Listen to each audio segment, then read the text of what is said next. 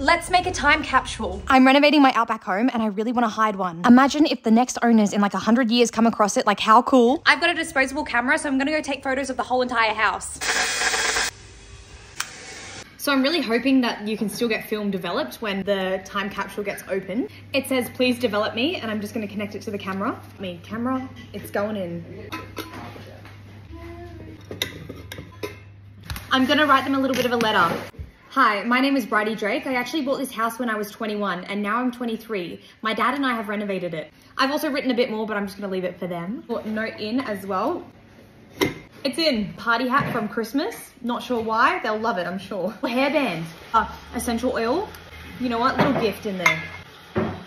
I'm also gonna print out some photos. I'm gonna put in some before photos and just a bit of the history so they can have a look of the before and after. I'm gonna add a few more things and hide this another day, but I'll keep you updated.